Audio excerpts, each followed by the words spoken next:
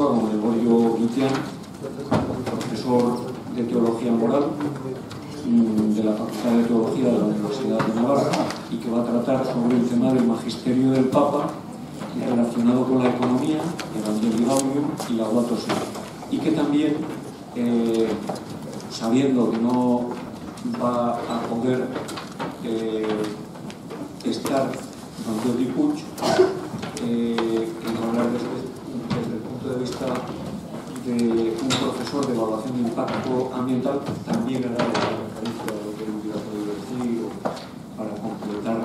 O, y luego entregaremos también la ponencia escrita de don Jordi Puig, aunque no ha podido venir, la tenía escrita y ha tenido la amabilidad de, de crearla y la estamos fotocopiando y la entregaremos, ¿no? porque son ideas interesantes y algunos probablemente desde el ámbito de la biología o de, de las ciencias naturales pues estarían, están interesados ¿no? en conocer. Sin más, dejo la palabra a ustedes. Yo sabiendo que estaba la ponencia escrita sobre el bus, me quedo más tranquilo porque la verdad es que había temas que no iba a tocar porque eh, porque sé que lo iba a en su ponencia. Por, lo menos eso queda ahí. Algún, algún ajuste haré. La elección del tema de, esta ponencia se debe más bien al impacto que han causado los documentos magisteriales más significativos del Papa Francisco, la exhortación apostólica Evangelii Gaudium y la encíclica Laudato Si, en el ámbito económico. Estados Unidos, por ejemplo, hay quien decía cuando salió Evangelii Gaudium que el Papa es, tenemos un Papa marxista. El Wall Street Journal tituló al día siguiente de la publicación de Laudato Si así. El Papa culpa a los mercados de los males del medio ambiente. Y en términos generales, sobre todo diría en el ámbito de Estados Unidos, se ha generado una polémica notable en ocasión de las enseñanzas, de las referencias del Papa Francisco a, temas económicos. Me parecía que tiene interés explicar dos cosas. Quisiera mostrar dos, dos puntos. El primero es encuadrar y entender las enseñanzas del Papa Francisco en el contexto más amplio de la doctrina social de la Iglesia, en relación con estos temas. Y en segundo lugar, mostrar también cómo el estilo propio del Papa Francisco influye en, sus enseñanzas y que es un factor que hay que tener en cuenta al leer los documentos y, y también al explicarlos, por los, a la hora de entenderlos. ¿no? Tiene unas características muy propias que si no se tienen en cuenta se pueden prestar a malentendidos. Voy a prestar más atención a Evangelii Gaudium, de tal manera que si me extiendo un poco más en el esquema que les he preparado, en esos puntos, mmm, no se inquieten, porque luego cuando llegue a los datos sí voy a ir más directamente a dos cuestiones que quiero señalar. Pero me parece que no se entiende lo que se dice sobre economía en Laudato Si sin, sin entender la mente del Papa en Evangelii Gaudium. En primer lugar, pasando ya a los pasajes de Evangelii Gaudium sobre la economía, me parece que hay que detenerse en las características de ese documento. Evangelii Gaudium es un documento dirigido fundamentalmente a espolear el afán evangelizador de toda la Iglesia, no solo de la jerarquía, y tiene una intención pastoral clarísima. El propio Papa hace referencia a que no, se trata, es un documento de doctrina social de la Iglesia, como que pudiera ser catalogado como parte del magisterio social, aunque efectivamente trata temas sociales, clarísimo. Pero él lo que quiere es hacer ver a todos los católicos y a los cristianos el tesoro que tienen en sus manos y cómo ese tesoro no puede quedar encerrado en los muros de los edificios de culto. Una intención pastoral que se corresponde con un estilo propio. Un estilo o un registro lingüístico que emplea el Papa, que se puede caracterizar como una serie de frases vigorosas, redondas, expresivas. el, Papa, el Papa lanza titulares constantemente. Palabras que llegan directamente, interpelan al interlocutor e incluso creando cuando es necesario nuevos términos. He recogido aquí algunos de ellos. Por ejemplo, cuando dice que los evangelizadores tienen olor a oveja.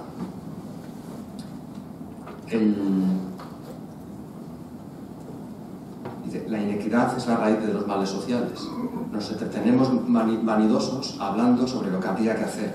El pecado del abriaqueísmo. Y así he señalado un texto escrito como unos ocho o nueve términos que son expresiones que se entienden bien de un estilo que quiere llegar directamente. En ese contexto hay frases sobre la economía que han levantado ampollas. Por ejemplo, quizás recordarán esa expresión de no a una economía que mata, no a una economía de la exclusión, no a la nueva idolatría del dinero, no a un dinero que gobierna en lugar de servir, no a la inequidad que genera violencia. O esta otra, ya no podemos confiar en las fuerzas ciegas y en la mano invisible del mercado. Bien. Me fijo ahora en el segundo punto, que es el marco de la doctrina social de la Iglesia sobre el mercado y el capitalismo. Vamos a, a que me parece que es puede ayudar más para situar las enseñanzas del Papa. Respondiendo a una de esas declaraciones que se hicieron en Estados Unidos, en concreto la de el, marxismo, o también la que se refiere a que el Papa está hablando de cosas de las que no sabe y se mete en aspectos o en asuntos técnicos que, que no tienen que ver con el magisterio. Hay que decir también que ya de los momentos así que han realzado más el mensaje del Papa ha sido cuando Obama, que se ve que se lee todos los documentos del Papa, los cita en cuanto puede. Y en concreto Evangelii Gaudium lo citó en un discurso importante sobre la desigualdad en Estados Unidos. A partir de ahí se generan nuevos, comentarios. Y lo mismo ha pasado con Laudato Si el Papa dijo que en la exhortación no hay nada que no se encuentre en la doctrina social de la Iglesia. Entonces, vistas las reacciones al documento, es importante exponer de manera breve y sintética lo que la doctrina social de la Iglesia ha dicho a propósito, en concreto, del mercado. ¿Qué se encuentra en el cuerpo de la doctrina social? Pues, en términos generales, hay una valoración positiva del libre mercado por ejemplo, la encíclica de Juan Pablo II, centésimos años, sobre la democracia y el capitalismo, elogia la economía de mercado o simplemente la economía libre por haberse mostrado como el instrumento más eficaz para colocar los recursos y responder eficazmente a las necesidades. la, la Iglesia sí que valora la eficacia y la eficiencia del mercado. El compendio de la doctrina social de la Iglesia Históricamente el mercado ha dado prueba de saber iniciar y sostener a largo plazo el desarrollo económico. La doctrina social, dice también el compendio, aprecia las seguras ventajas que ofrecen los mecanismos del libre mercado, tanto para utilizar mejor los recursos como para agilizar el intercambio de productos. Y un punto importante que recuerda Benedicto XVI en Caritas en Veritate es que el mercado, un mercado verdaderamente competitivo, es un instrumento eficaz para conseguir importantes objetivos de justicia. En concreto, la Iglesia reconoce cómo el mercado, en las debidas condiciones, da respuesta a las exigencias de la justicia conmutativa. Modera los excesos de ganancia de las empresas, responde a las exigencias de los consumidores, realiza una mejor utilización y ahorro de los recursos, premia los esfuerzos empresariales y la habilidad de innovación, hace circular la información. Bien,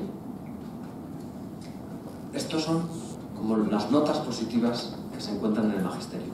Pero el magisterio siempre ha sido particularmente claro respecto a las limitaciones que tiene el libre mercado, porque no es un instrumento perfecto. A veces quizá le pedimos al mercado todo y el mercado no es capaz de dar respuesta a todas las necesidades o requerimientos humanos. Juan Pablo II señaló que el mercado solo da respuesta a aquellas necesidades que son solventables con poder adquisitivo. Y, y solo sirve para aquellos recursos que son vendibles. O sea, que son capaces de alcanzar un precio conveniente. Si el precio no fuera conveniente, nadie lo ofrece. Entonces esos productos, esas necesidades quedan fuera del mercado. De tal manera que existen muchas, numerosas necesidades humanas que no tienen salida en el mercado. Y en cambio es un deber de justicia estricto, decía San Juan Pablo II, impedir que queden sin satisfacer esas necesidades. Este es quizá el punto más delicado. Porque bueno, uno se da cuenta de que hay importantes necesidades que no tienen salida en el mercado. Por ejemplo, uno puede comprar una casa, pero no puede comprar un hogar, porque eso depende de la calidad de las relaciones humanas. Uno puede, tampoco puede comprar, por ejemplo, el amor que toda persona necesita. Tampoco el mercado es capaz de dar respuesta a las necesidades de tipo espiritual, por ejemplo, simplemente por mencionar algunos ejemplos. Esto es normal es obvio. El mercado no lo puede todo. Y hay necesidades humanas fundamentales que no entran, es más, no deben entrar en el mercado. Por ejemplo, tampoco vemos que haya un mercado de, de órganos. Los trasplantes, digamos que operan en una lógica distinta. No se compran ni se venden. Es más, eso está penado. De tal modo que aquellas personas que sin culpa propia no tienen la capacidad adquisitiva para mm, participar en el mercado, por ejemplo porque a causa de un accidente han perdido su trabajo o, o ya no tienen posibilidad de encontrar uno nuevo, quedan excluidas de ese ámbito y pueden llegar a carecer incluso de lo necesario. Eso no es simplemente una situación triste, sino que es una injusticia. Si lo vemos a la luz del principio del destino universal de los bienes, pertenece al plan de Dios que toda persona pueda disponer de lo necesario, por lo menos para poder sobrevivir. En concreto, hay exigencias de la justicia social, que es la justicia del bien común, que no tienen cabida en el mercado. Se me ocurre también ahora pensar en cuando una persona va a pedir un crédito a un banco, le piden toda una serie de garantías. Si alguien puede tener una iniciativa en la cabeza pues, muy buena, de la cual podría salir adelante, crear un negocio, sustentar a su familia, etc. Pero si le faltan unas garantías mínimas, no le van a dar crédito. El mercado tiene una puerta de acceso que a veces puede ser estrecha. Este problema es el que está a la raíz de la aparición de, de los microcréditos, por los que mereció el premio Nobel Mohamed Yunus. Se daba cuenta de que había, sobre todo en la, en la India, mujeres que sacaban adelante a sus familias eh, dedicando muchas horas del día a vender distintos tipos de productos, pero que mm, para los cuales habían tenido que financiar con unos intereses que les dejaban un margen mínimo y no tenían ni siquiera lo necesario como para poder vivir. Entonces él creó la figura de microcrédito, que es yo adelanto, te concedo un préstamo pequeño sin pedir ningún tipo de garantía. La garantía es la confianza en tu trabajo. Y así se creó esa figura que luego se ha extendido y también en parte también se ha desvirtuado, pero que hizo posible vencer esa restricción del mercado, que si no tienes capacidad adquisitiva, o solvencia, no eres capaz de entrar, por ejemplo, en el sector financiero. La doctrina social de la Iglesia siempre ha marcado este problema respecto a la justicia social. Una sociedad que se diga digna de sí misma pone los medios para que nadie sin culpa propia quede excluido. Pero ahí tiene que, tiene que entrar un mecanismo de regulación, de orientación del mercado al bien común, con un marco jurídico y ético que, le dé, que, dé respuesta a esas, a esas necesidades. La doctrina social de la Iglesia siempre no ha dejado nunca de subrayar, decía Benedicto XVI, la importancia de la justicia distributiva y la justicia social para la economía de mercado. el mercado funciona bien para la justicia conmutativa, pero a veces hay problemas particulares respecto a la justicia social. Y por este motivo, la doctrina social de la Iglesia ha llamado a la intervención de quienes tienen una especial responsabilidad respecto al bien común, que es la autoridad política. Al mismo tiempo que subraya la importancia del principio de subsidiariedad, porque esto no significa que el Estado sea necesariamente protagonista para dar respuesta a estas exigencias de la justicia social, sino que ahí entra, quizá en primer lugar, las asociaciones intermedias, las, toda la red de, solidaridad, la sociedad civil, que tiene mucho que ver y mucho que decir para dar respuesta a estos problemas de riesgo de exclusión. Bien, de tal modo que en el Catecismo de la Iglesia, en los números 2424 y 25, nos encontramos con esta afirmación, que me parece que vale la pena leer, porque yo creo que desde aquí se entiende muy bien todo lo que ha venido después en el magisterio del Papa Francisco. Toda práctica que reduce a las personas a no ser más que medios con vistas al lucro, esclaviza al hombre, conduce a la idolatría del dinero y contribuye a difundir el ateísmo la Iglesia ha rechazado en la práctica del capitalismo el individualismo y la primacía absoluta de la ley del mercado sobre el trabajo humano. La regulación de la economía únicamente por la ley del mercado quebranta la justicia social. Esto lo acabo de recibir ahora. Porque existen numerosas necesidades humanas que no pueden ser satisfechas por el mercado. Es preciso promover una regulación razonable del mercado y de las iniciativas económicas según una justa jerarquía de valores y con vistas al bien común. Este es el marco de la doctrina social de la Iglesia. Vamos ahora a los pasajes de Evangelii Gaudium sobre la economía. Se trata de 15 números, 15 párrafos, de 53 al 60 y del 202 al 208, que señalan en síntesis una preocupación de fondo del Papa. El sistema económico y financiero actual no está suficientemente orientado a la persona. No está suficientemente informado por la ética. Y tiene una carencia antropológica seria. Esa carencia se traduce en que lo que gobierna es el dinero, con consecuencias deshumanizadoras como la exclusión o el consumismo.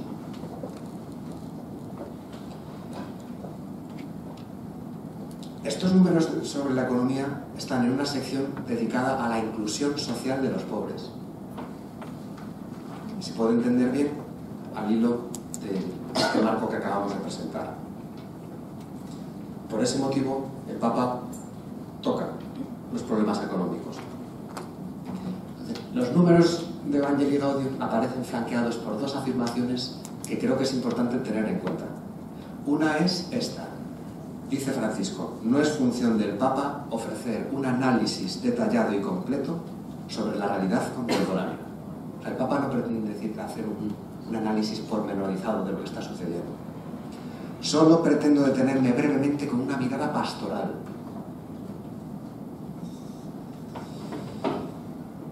Más adelante, dice, si alguien se siente ofendido por mis palabras, le digo que las expreso con afecto mi palabra no es la de un enemigo. Entonces, aquí viene lo importante. Solo me interesa procurar que aquellos que están esclavizados por una mentalidad individualista, indiferente y egoísta, puedan liberarse de esas cadenas indignas. En ese contexto encontramos frases de tipo analítico y frases de tipo exhortativo. Las de tipo analítico no son un análisis detallado ni completo, conforme a esa intención del Papa, y está orientado a las consecuencias pastorales. Y las frases de tipo exhortativo responden a esa intención del Papa de remover las conciencias. Por ejemplo, dice, animo a expertos financieros y a los gobernantes de los países a considerar las palabras de un sabio de la antigüedad. No compartir con los pobres los propios bienes es robarles y quitarles la vida. Pido a Dios que crezca el número de políticos capaces de entrar en un auténtico diálogo. Os exhorto a la solidaridad desinteresada y a una vuelta a la economía, de la economía y las finanzas, a una ética en favor del ser humano. Hay como es unas siete o ocho frases que son exhortaciones del Papa para espolear las conciencias y provocar cambios. En los párrafos que se refieren a la economía no pueden esperarse tratamientos, un tratamiento sistemático y preciso de las gruesas cuestiones que apunta el Papa, porque obedece a esta intención pastoral y el Papa no tiene intención de, de, de entrar en valoraciones de tipo técnico. Perder de vista este condicionamiento ha llevado a muchas personas a ver en las frases del Papa más de lo que podían dar conforme a esa intención suya, o hacer interpretaciones parciales, o... Bien, veremos Entonces, hay dos grandes temas que toca el Papa. El primero es la exclusión social. No puede ser, recordarán esta frase porque esta, sí que salió en todos los periódicos del mundo. Esta fue la que citó Obama en su discurso. No puede ser que no sea noticia que muere de frío un anciano en situación de calle y que sí lo sea una caída de dos puntos en la bolsa. Eso es exclusión. Hoy todo entra dentro del juego de la competitividad y de la ley del más fuerte. Como consecuencia de esta situación, grandes masas de población se ven excluidas y marginadas. Y el párrafo que terminó de inflamar el, debate en Estados Unidos, sobre todo y en otros países, fue este. En este contexto, algunos todavía defienden las teorías del derrame, que suponen que todo crecimiento económico, favorecido por la libertad del mercado, logra provocar por sí mismo mayor equidad e inclusión social en el mundo. Esta opinión, que jamás ha sido confirmada por los hechos, expresa una confianza burda e ingenua en la bondad de quienes detentan el poder económico y en los mecanismos sacralizados del sistema económico imperante. Mientras tanto, los excluidos siguen esperando. Esta expresión, teorías del derrame, fue traducida en inglés por la expresión trickle down theories. ¿Cuál es el problema? Trickle down theories es el modo en que el Partido Demócrata criticaba la política del partido, la política económica del Partido Republicano, sobre todo en la era de Reagan, de liberalización, con un matiz irónico y crítico. El Papa escribe en, en español. Cuando se traduce al inglés con esa expresión y se lee en el contexto de Estados Unidos, la primera reacción que apareció ahí es decir, el Papa se alinea con los demócratas. Pero es, este es el problema de las traducciones con las cuales se podría escribir un libro solo de los líos que se han organizado por las traducciones de los documentos de la, de la Santa Sede. Entonces aquí salió el Papa es un marxista, el Papa entraba en un diálogo, el Papa realmente pues, no sabía que lo habían traducido así. Hay quien ha dicho que se tenía que utilizar otra expresión. Es decir, al mismo tiempo es verdad que esta idea de las teorías del, del derrame no aparece en ningún documento de la doctrina social de la Iglesia. Pero lo que sí que se encuentra en la doctrina social de la Iglesia es esa, ese rechazo de que el mercado se gobierne únicamente por sus propias leyes. Ya lo hemos visto en ese número 2424. El Papa mismo, en una entrevista respondiendo a estas críticas, decía la única cita específica fue sobre las teorías de, del derrame, la recaída favorable.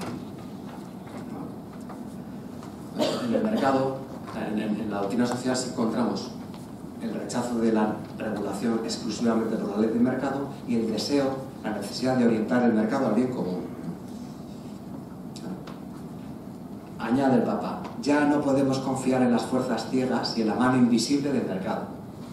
El crecimiento en equidad exige algo más que un crecimiento económico, aunque lo supone. De fondo, no hay novedad en lo que estaba diciendo el Papa. Él dice, no hablé desde el punto de vista técnico, traté de presentar una fotografía de lo que sucede.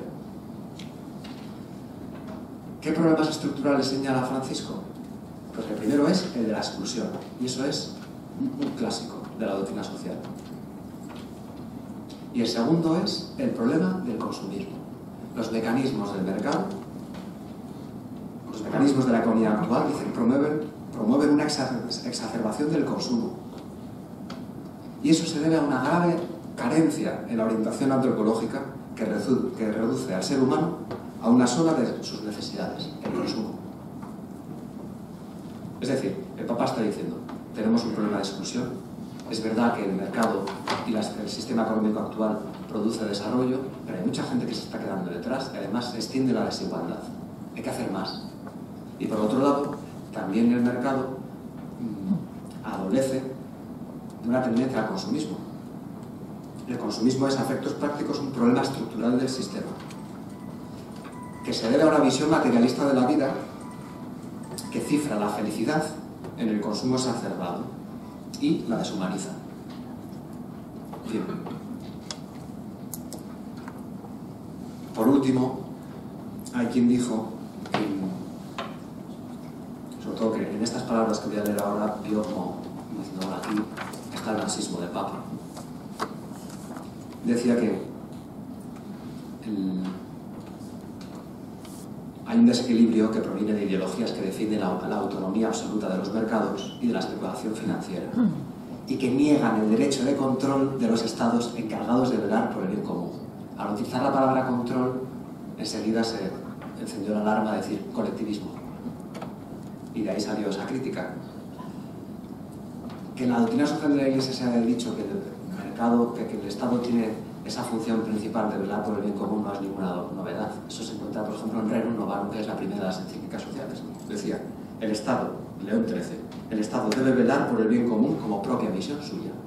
No única y exclusiva, pero es una misión suya propia. ¿no? Que el Papa dijera que tenemos, corremos el peligro de la idolatría del dinero, pues eso está ya en el catecismo. Bien. Se ha dicho que las abarcantes generalizaciones de Francisco son imprecisas e incluso irresponsables. Eso apareció en una revista muy influyente en Estados Unidos, la revista cristiana más influyente se llama First Things, en el editorial de la revista cuando salió Evangelii Gaudium, se decía eso. El Papa dice, hace generalizaciones imprecisas que, no obedece a esta intención, es decir, no quiero hacer un análisis detallado, lo que quiero hacer es mover las conciencias, tengo una intención pastoral. Lo que sí que se aprecia es que los economistas, en general, los profesionales del mundo académico, tienen dificultad con el registro del Papa, porque están acostumbrados, por ejemplo, pensemos en el magisterio de Benedicto XVI o de Juan Pablo II, que una intención como particularmente precisa de decir las cosas, bueno, porque son papas que proceden de un ámbito académico. Y el Papa Francisco tiene más una intención pastoral y llegar directamente a la gente y de remover las conciencias. Nosotros pontífices también, pero aquí se ve como mucho más claro. Cada papa tiene algo propio que ofrecer a la iglesia y al mundo. Y en el Papa Francisco esto se ve. Pues a veces en el ámbito académico hay dificultad para decir, bueno, ¿qué ha querido decir? Eso sí que es un punto que llama la atención. Tanto en el Evangelii Gaudium como en Laudato Si ha habido muchos comentarios que unos y otros decimos, el Papa ha querido decir, el Papa ha querido decir. Claro, eso genera, en, si no se tienen en cuenta estas premisas de las, que, hemos hablado, algunos problemas de malinterpretación o de decirle esas frases más de lo que pueden dar. Bien. El, en ese contexto, ¿qué se puede concluir de, los pasajes de economía de Laudato Si? Reflejan la constante preocupación de la doctrina social de la Iglesia por los problemas de la justicia social, el riesgo de exclusión de la sociedad y del mercado, de la economía, de muchas personas. En segundo lugar, aunque el Papa quisiera, hubiera querido expresar alguna idea de manera precisa y detallada, los términos, algunos de los términos que ha empleado, teorías del derrame, la mano invisible, que procede de las obras de Adam Smith y que también en el ámbito de la economía es objeto de, discusiones sobre lo que quiso decir Adam Smith y lo que no. El Papa ha utilizado expresiones que, aunque él no tuviera esa intención, como ya son objeto de debate y discusión, pues quedan incorporadas a su, a su, discurso. De ahí que también se haya generado un poco de polémica diciendo, bueno, ¿qué está queriendo decir aquí el Papa? son, son, están sujetas a diferente interpretación por parte de los profesionales del campo de la economía. En todo caso, lo que el Papa quiere es llamar positivamente a la acción, a cambiar las cosas. En ese contexto aparece la encíclica Laudato Si. Laudato Si hay una discusión de fondo sobre los problemas o las distintas actitudes respecto a la naturaleza. Tradicionalmente se han visto como distintas corrientes. La más conocida y la más criticada por los ambientalistas y también el Laudato Si es lo que se llama antropocentrismo o tecnocentrismo. Una visión que considera la naturaleza como un objeto externo al hombre que está a su disposición para ser explotado con un dominio absoluto. Al cristianismo se le ha, adjudicado esta posición por malinterpretar la Sagrada Escritura, diciendo como hay una vocación al dominio de la tierra, entiende que, por una interpretación errónea del Génesis, claramente que el hombre tiene a su disposición toda la relación para hacer con ella lo que quiera, cuando en realidad hay un encargo por parte de Dios para cuidar la tierra, administrarla, porque realidad la naturaleza es de Dios y el hombre es su administrador. Laudato sí es una discusión con este paradigma tecnocentrista que se desentiende del cuidado de la naturaleza. Y así se pueden entender los pasajes de Laudato sí que se refieren a la economía y a las finanzas. Porque el Papa, en el número 109, como aparece allí en el esquema, dice que el paradigma tecnocrático también ejerce su dominio sobre la economía y la política. ¿En qué se traduciría ese paradigma? En considerar que lo único importante es la maximización del beneficio, de la rentabilidad, podemos decir, el valor de las acciones, el continuo crecimiento económico. Es decir, buscar los resultados. La economía asume todo desarrollo tecnológico en función del rédito, sin prestar atención a eventuales consecuencias negativas para el ser humano. Las finanzas ahogan a la economía real en el número 109. Todo lo que se dice sobre el mercado y las finanzas en la datos sí está enfocado desde esta perspectiva. Una de las primeras cosas que hice cuando salió la encíclica fue recoger en dos documentos todas las referencias al mercado, por un lado, y a las finanzas, por otro, en la datos sí. Y es verdad que si uno las toma una detrás de otra, la visión que tiene del mercado y de las finanzas es profundamente negativa. Entonces alguien que bueno, pues el Papa culpa a los mercados de los problemas del medio ambiente, titula Wall Street Journal. ¿Por qué? Porque lo que el Papa tiene en la cabeza es esa deformación del mercado y de las finanzas por una ideología que le lleva en la dirección tecnocentrista. El problema sería quien se ocupa solo, quien tiene solo en consideración la maximización del beneficio. ¿Es el mercado en sí mismo? No. Es un mercado que adolece de estos problemas estructurales. Un riesgo de exclusión al que no se le da respuesta adecuada y, un, el hecho del consumismo que está ahí. Así lo expresó en Evangelii Gaudium y desde esa perspectiva se enfoca Laudato Si. Como decía antes, cada papa tiene algo que ofrecer a la Iglesia. En el caso del Papa Francisco, lo que se ofrece es una perspectiva que es católica, que es una visión de la economía y de las finanzas desde la opción preferencial por los pobres, o dicho de otro modo, desde la situación de las personas y los pueblos que están más desfavorecidos en el momento actual. Todo lo que se dice sobre las finanzas y el mercado se ve desde ahí. Y el Papa, yo creo que invita a la Iglesia y a la humanidad a tener en cuenta, a poner el subrayado en los pueblos que se han quedado atrás, cuanto se dice sobre la economía se ve desde esa perspectiva. ¿Eso es una visión católica? Por supuesto, la del Papa además. ¿Estaba ya antes el magisterio anterior? Sí, pero el Papa también, por su propio modo de ser, por su propia historia personal, etc., está poniendo de manifiesto en el momento presente que aquí hay que dar solución a este problema. Así se entiende lo que se dice.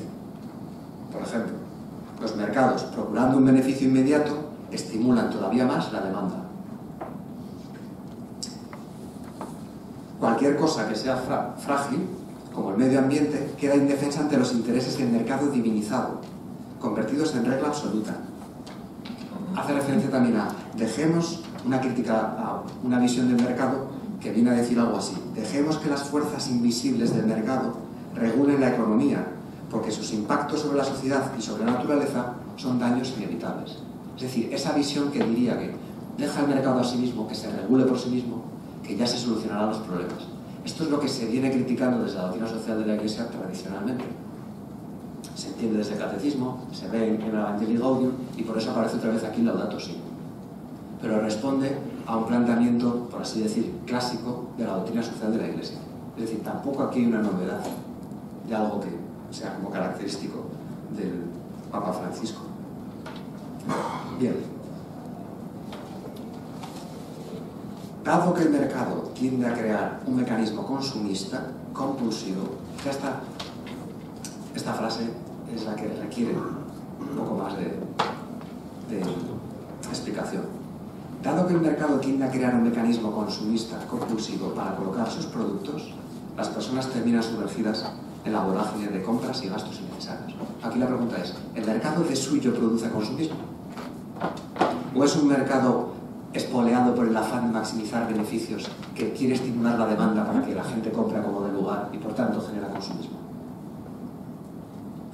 En realidad es esto. El Papa Benedicto XVI, en Caritas in Veritate, decía esto.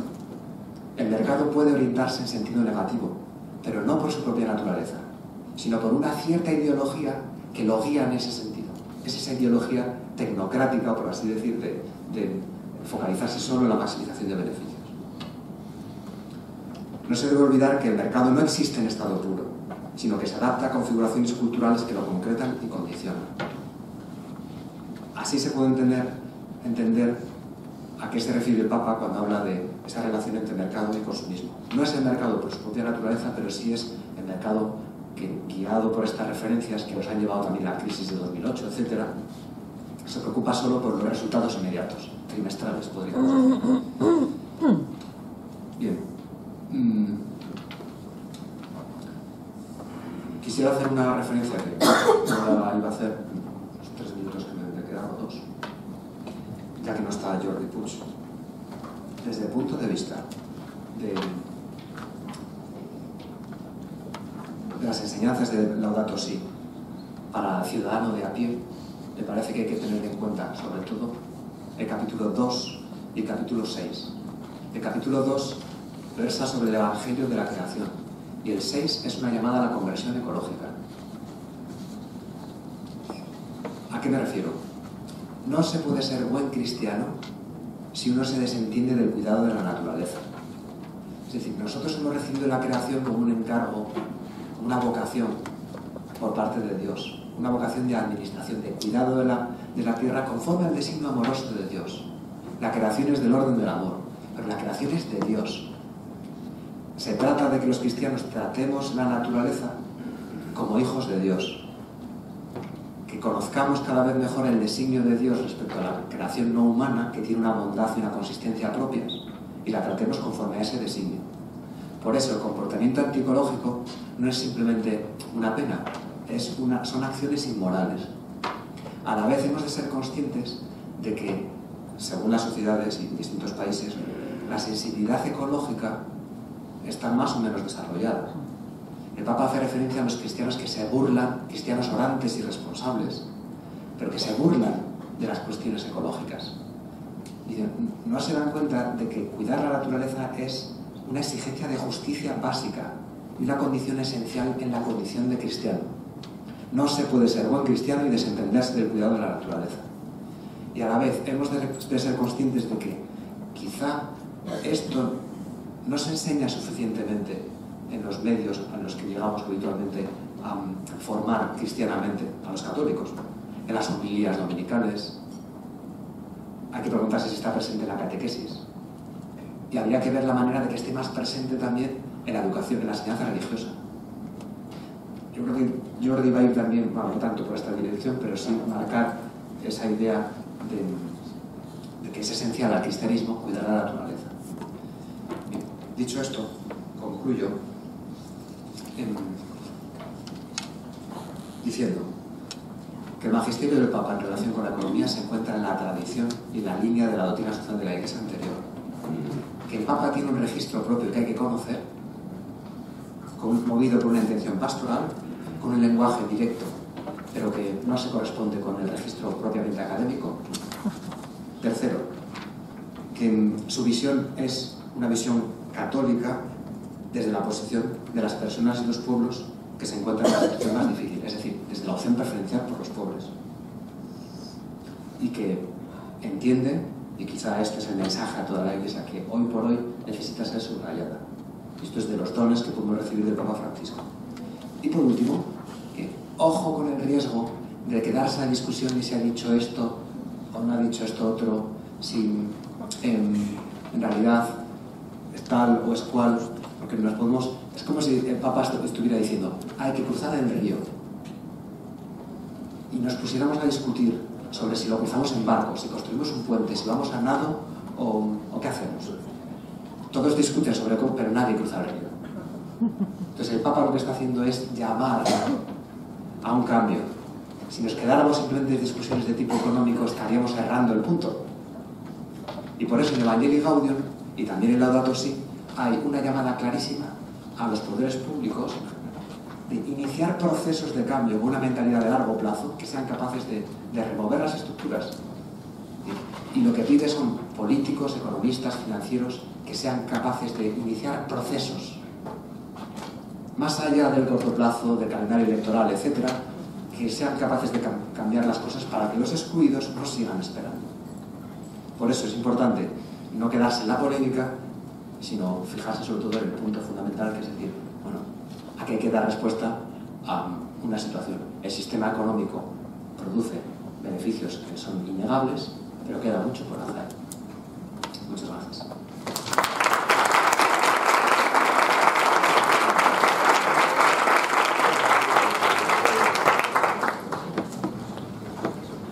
Muchas gracias, Tenemos 10 minutos para preguntas, comentarios.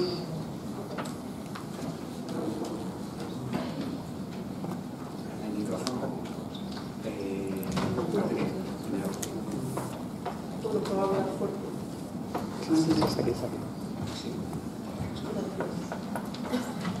Bueno, muchas gracias.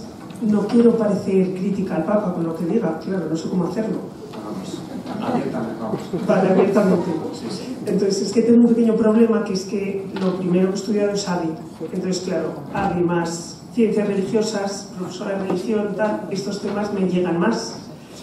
Entonces, yo creo que por un lado hay un riesgo de exclusión que es el paro, que es de los mayores riesgos que hay. Entonces, ¿quién eh, soluciona el paro? Pues los empresarios, claro, creando puestos de trabajo, que hay veces que parece que la exclusión se soluciona eh, dando, ayudando con las ONGs, y como no hay una empresa que cree puestos de trabajo, pues eh, Amancio Ortega, el más rico del mundo, pero es que genera 200.027 puestos de trabajo al día. Entonces yo creo que es que hay veces que a lo mejor la gente que no es tanto de economía, de tal, al leer estas cosas enseguida critica al empresario, al, a lo que tiene, mira ese, pues a esta casa misma, o sea, porque no es fácil a lo mejor entender pues los empresarios aquí luego la encíclica o las cosas que dice el Papa.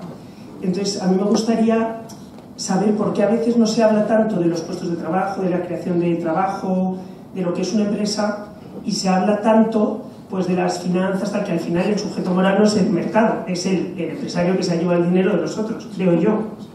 Y luego la segunda cosa que tenía es que, o sea, que a veces hablamos de libre mercado como si existiera realmente y vamos, desde luego una empresa como en España, que cada 100 euros que gana, 30 se los tiene que dar al Estado de impuestos, O sea, creo que es un libre, o sea, es una economía mixta, no es una economía como en la teoría puede decir Adam Smith, porque sería si no hubiera impuestos, creo yo. Entonces, que a veces también la gente habla de libre mercado sin realmente hablando de un mercado hipotético, porque no sé en Estados Unidos cómo será, pero desde luego en Europa lo que es el libre mercado no lo veo yo muy claro. Estas dos cosas. Gracias. ¿eh?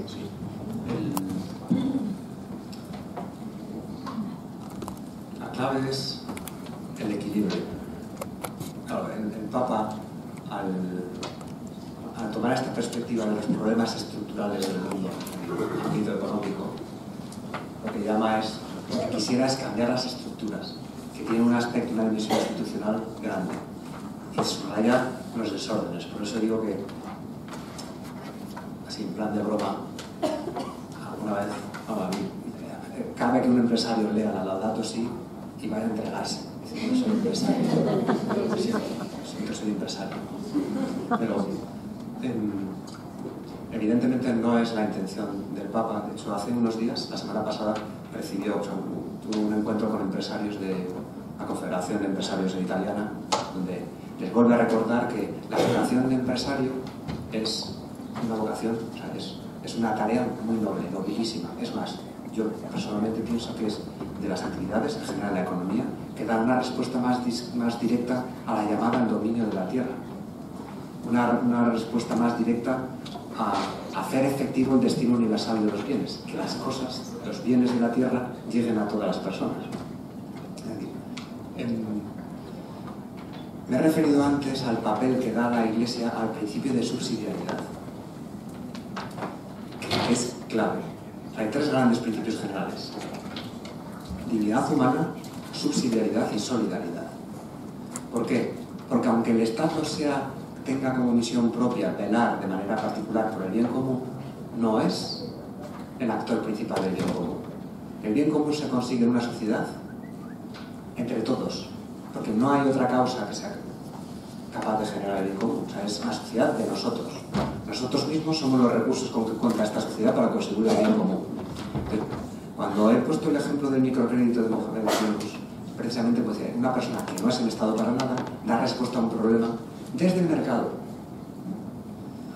Entonces, es evidente que, en primer lugar, quizá esto se ha entendido mejor en Estados Unidos, donde la sociedad civil está más desarrollada y es consciente de que esto lo tenemos que sacar adelante nosotros mismos sin dejarlo al Estado porque, porque no siempre es capaz de dar la respuesta más adecuada al problema próximo que tenemos en esta sociedad concreta. Entonces, en primer lugar, son los individuos por sí mismos o asociados quienes son capaces de dar esa respuesta. En este caso, una empresa es una sociedad de personas, una comunidad de personas que prestan un servicio al bien común de primer orden.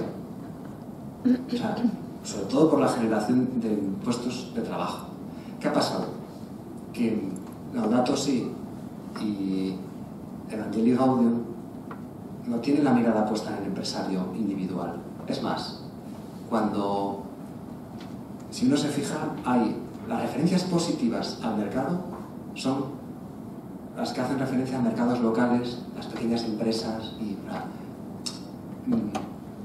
el empresario visto individualmente no es visto con ojos negativos por parte del Papa Francisco, porque no porque iría contra la doctrina social de la Iglesia. Bastaría mm, leer Centésimos Annus para descubrir que efectivamente, vamos, eso sí que lo tengo bastante trabajado, hay una visión positiva del trabajo empresarial, las virtudes que lleva consigo y del servicio que, que, que presta el bien común. Lo que pasa es que ahora el Papa está más apremiado por las urgencias del mundo y ha ido más por los aspectos estructurales. Pero, pero es un punto que se echa de menos en los dos documentos. Es verdad que tanto en uno como en otro hay una referencia a la nobleza de la, de la vocación empresarial, pero queda como diluida en un panorama a veces académico. Entonces eso es así. Por eso a mí, a mí me parece que es interesante verlo en el marco concreto de toda la doctrina social de la Iglesia. Vale, la segunda idea. Una de las críticas que se han hecho, pero que responde también a esto que he dicho, de que el registro que utiliza el Papa no es académico, es decir, el Papa habla de mercados divinizados, regidos exclusivamente por sus leyes propias, entonces ha preguntado, ¿cuáles son esos mercados? ¿Dónde existen? Porque en ningún mercado del mundo existe una situación así. El propio Adam Smith decía que efectivamente la riqueza de un país influye o por lo menos se derrama a otros sectores más desfavorecidos de ese mismo país siempre que se ha gobernado correctamente. Esa coletilla se ha extraído. Entonces Adam Smith y la, referencia a la mano invisible ha quedado como diciendo, bueno, el mercado divinizado y dejado a sus propias reglas. Pero el propio Adam Smith nunca habló de eso en concreto. Entonces una de las cosas que se ha dicho es decir, ¿qué mercados? donde hay gente que defienda esa posición. Porque hoy en el mundo lo que hay es eso. El, el Papa marca, quizá con ese punto. Pues, de exageración, el riesgo que sí que se ha dado en la historia de la economía moderna. En concreto, estoy pensando en, la, en, las leyes de los años 80, las leyes financieras en Estados Unidos que producen una, des, una desregulación muy llamativa, cuyos efectos hemos vivido en parte también en el 2008. Entonces, es esa idea. ¿Es preciso? No, pero por lo que he explicado, porque no había una percepción de, de precisión que genera una serie de problemas. Entonces, totalmente cierto que los mercados en abstracto no existen, también lo decía el 2016 requiere esa, esa. ¿Quién en el mundo hoy pretende que haya cada vez menos regulación o que dejen los mercados, se dejen los mercados a sí mismos? Hoy por hoy, a efectos prácticos, nadie. Del mismo modo que, por el otro lado, por el, el planteamiento colectivista, ¿quién sigue hoy una, una economía colectivista en sentido puro? China. China hace muchos años que es un capitalismo camuflado, pero también hay, hay libre mercado también intervenido, pero estados puros de política económica no existen.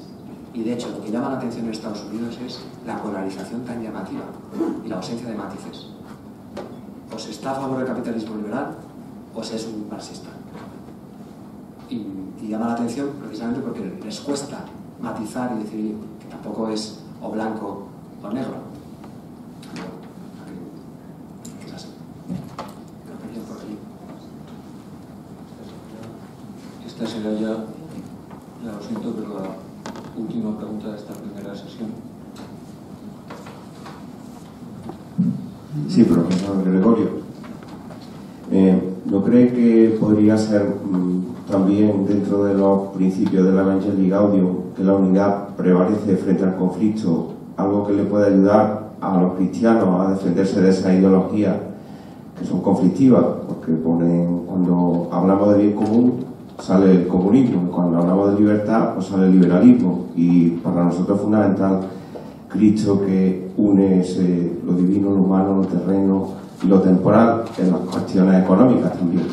Yo creo que habría que ese principio eh, puede ayudarle mucho a, entender también la economía que creo que quiere defender el Papa sin caer en los conflictos.